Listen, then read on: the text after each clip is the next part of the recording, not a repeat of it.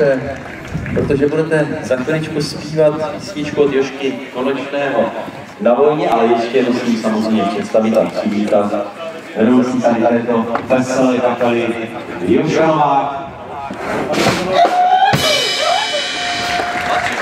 Ano, my víme, že mladší samozřejmě, protože ty jsi vnuk Jošky Nováka, tak pozdravuji dědečka od nás. A také Jan Antl pomáhá s vedením kapely. Já, to došlo na tebe. Došlo na tebe, zapadneš tam úplně krásně, ten věkový průměr jim trošku kazíš, ale, ale je to zase naopak potřeba. Víš, jak ty se jmenuješ dál? Valšová to už ví, protože já znám obě dvě tvoje sestry. Zuzka, no Zuzi, ahoj. Tak eh, je to potřeba, že? Mít takovou nějakou pořádnou chlapskou ruku starší tady v té kapele, co? Že jo? Vždycky, když máš nějaký problém s těma mladýma, tak se na něho obrátíš. Já si to nechal zkoušku. A jo, no tak to jsem se netrefil. No tak kdyby náhodou si tady. A kde hraješ jinak, když jsi tady na záskoku?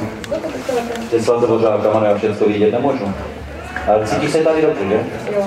Zapadneš se jako kvítek, nádherný do zahrádky. Tak na vojnu, Patriku. Teď máš na tvoje chvíle, tak se do toho podáme. Šohaj.